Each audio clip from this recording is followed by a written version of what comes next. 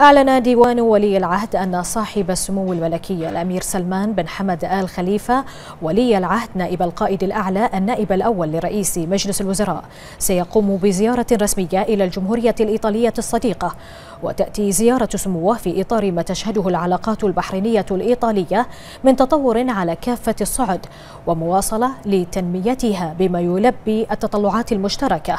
ومن المقرر أن يلتقي سموه حفظه الله خلال الزيارة كبار المسؤولين في الحكومة الإيطالية وذلك لبحث سبل تعزيز العلاقات بين مملكة البحرين والجمهورية الإيطالية الصديقة والدفع بها نحو مجالات أوسع بما يحقق النماء والازدهار لصالح البلدين والشعبين الصديقين.